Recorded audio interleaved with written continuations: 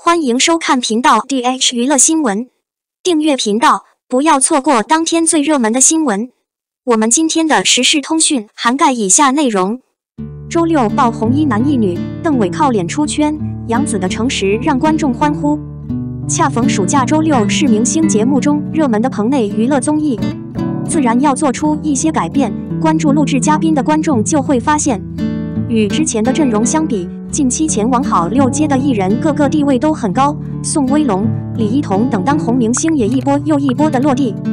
就连很少上综艺的刘浩存，为了宣传自己的新剧，也选择以周六作为自己的真人秀首秀，一时间阵容人气大增，引起了观众的不少期待。这背后是没有原因的。新一期《长相思》剧组抵达后，何炅解释道。新的一周开始，舞台将进入特殊的夏季，众多重要嘉宾将齐聚舞台。作为开篇特片的第一期，《长相思》五人组的亮相是最大的看点。在正片上映之前，他们已经很久没有录制节目了，其中两个人的表现都非常出色。一个是靠脸就能吸粉的邓威，一个是说不怕姐姐的杨紫。邓伟的性格比较内敛，被哄的时候看起来很听话。李雪琴的羞涩足以说明她颜值优越，邓伟性格比较冷淡，从长月于禁的幕后爆料就可以看出。陈都灵曾表示，罗云熙和白鹿在片场唱歌时，他和邓伟经常充当两个听众。我性格内向，综艺经验很少，当镜头拍到邓伟的时候，他总是一副傻眼的样子。如果不是何炅提示他拍照，他很可能还沉浸在旁观者的身份中。完全忘记了自己是一名飞行嘉宾。当心率游戏结束后，成员们受到惩罚，众人起哄，要求李雪琴和邓伟对峙。李雪琴有些尴尬的起身，而对方邓伟依然是一脸茫然。两人互相拉着对方的夹线，李雪琴笑得合不拢嘴，这心跳势不可挡，正往山上走，引起了现场一阵阵笑声。而他也如邓伟一样平静，只是垂下眼帘，笑得相当温柔。杨迪见李雪琴越来越开心，上前追了上去，表示邓伟是别人家的护卫，一饱眼福的李雪琴立即回应，并让杨迪与自己进行比较。两人撕扯之后，邓张着嘴做出了一个可爱的样子。对比他冷酷的外表，难怪他演男二的时候就火了。事实证明，面子是演员走红的关键。杨紫正面回应年龄问题，不隐瞒真相，积极发言获赞。邓伟凭借颜值加入了等待被爆的帝王行列，而杨紫则长期站在顶级女性的领域。从一个不被看好的童星，到连续两年产出爆剧的后起之秀，一九九二年出生的杨紫不知不觉已经到了三十岁大关。三十几岁还不算中年，但对于一个演员来说，这种差别并不寻常。观众这么严格，如果你到了三十岁了还不改变，就会永远被批评。杨紫就是这样。她不仅被吐槽没有跳出偶像剧圈，甚至连她的颜值都被热议。青春不在，可以说她的年龄是最有争议的话题之一。周六将关注舆论，知道这个话题会被热议，自然不会放过。在测试心率的游戏中，王鹤棣直接问杨紫是否感觉自己老了。杨紫一阵慌乱后，立即调整了心态。他说自己不仅没有年龄焦虑，而且对自己三十岁感到很舒服。年轻的时候，他想快点长大，现在进入了人生的新阶段，他却安逸地享受着。他的抗焦虑期不仅引得现场观众和嘉宾为他加油鼓掌，也引来了无数网友的点赞。人会成熟，也会变老。与其担心为什么到了这个年纪还没有什么大成就，不如好好过好现在的每一天。国内娱乐圈四大科技美女，杨紫被嘲，鞠婧祎、杨颖高度认可。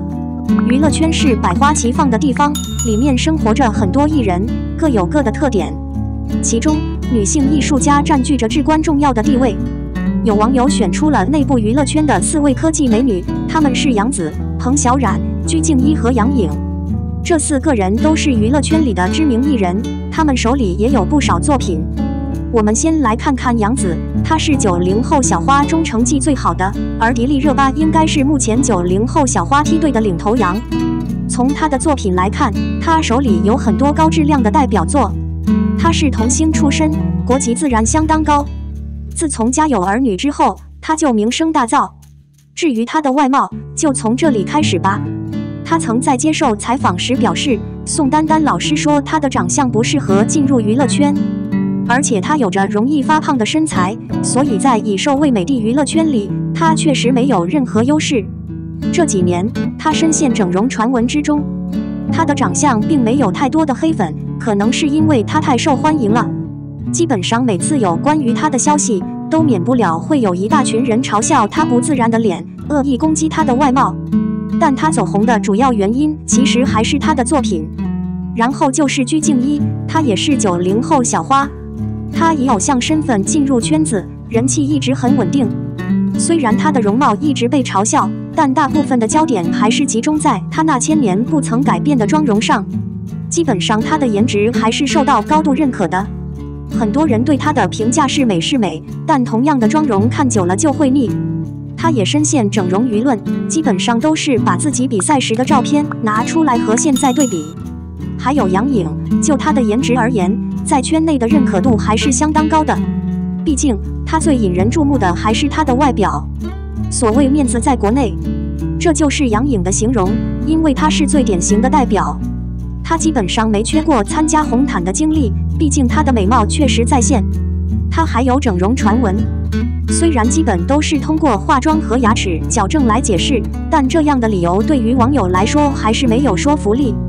最后一位是彭小苒，她出现在名单中，着实令人惊讶。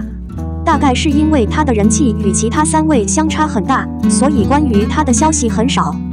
他的五官比较立体，确实有整容的传闻。零二，肖战微博回复时间集中在下午五点三十分，网友纷纷猜测他的下班时间。肖战作为备受关注的明星，最近在微博上回应粉丝的评论，引起了网友的兴趣。不少网友发现肖战的回复时间几乎集中在下午五点三十分左右。这一现象引发网友对他下班时间的猜测，让我们来看看这个猜测的背后。首先，作为明星，肖战的工作方式可能与普通人不同。由于演艺行业的特殊性，他可能需要参加剧组拍摄、宣传活动、商务合作等，这使得他的工作时间相对灵活而不固定。因此，我们不能仅根据微博回复时间来推测他的下班时间。不过，网友们的关注点依然是下午五点三十分这个时间点。有人认为这可能是肖战的下班时间，因为这段时间他有空回复粉丝的评论。他可能会在繁忙的工作之余抽出一些时间与粉丝互动，表达对粉丝的感谢和关心。这种猜测也体现了粉丝对肖战工作和生活平衡的关心，以及对他努力的认可和支持。不过，我们必须强调，这只是网友的猜测，并没有确凿的证据支持。肖战的工作时间可能会因项目不同而有所不同，微博回复时间只是他在一定时间内的行为之一。因此，我们应该避免过度解读和猜测，理性对待他的回复行为。一般来说，肖战大部分时间都是在下午五点三十分左右回复粉丝的微博评论，引发网友对其下班时间的猜测。虽然我们不能确定这个猜测是否准确，但我们可以理解肖战在繁忙的工作之余仍然关注并回应粉丝的感受。